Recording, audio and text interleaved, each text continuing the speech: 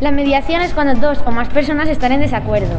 Nosotros allí intervenimos, escuchamos las dos versiones y intentamos poner una solución y así que esas dos personas vuelvan a tener una buena relación.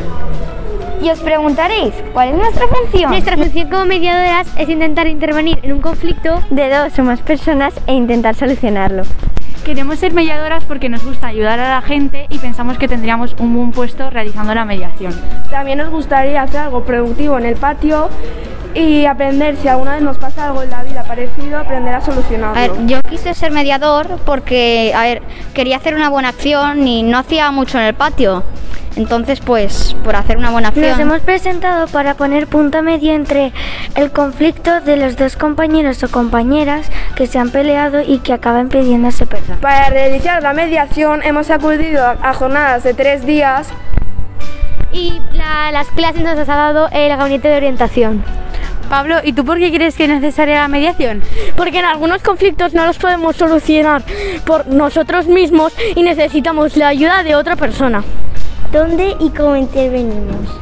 Nosotros en la zona que más eh, actuamos es en primero, segundo, tercero, ya que tienen nada más complicada para resolver los conflictos por ellos mismos. Las cualidades que deben tener los mediadores y mediadoras de San Pedro Pascual son paciencia, empatía, respeto, imparcialidad, simpatía, capacidad de solucionar problemas, amabilidad, capacidad de escuchar, que le importen las demás personas. Compañeros, ¿cuáles son los conflictos más habituales en el patio?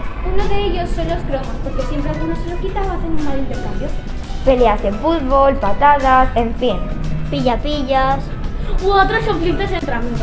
Tenemos unas normas que son no decir mentiras, no interrumpir al compañero y no se pueden contar lo que hablamos aquí. Primero les nos presentamos y les explicamos las normas y luego nos explican el conflicto.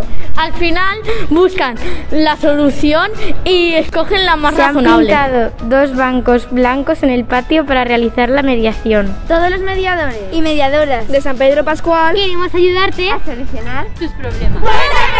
Malandro!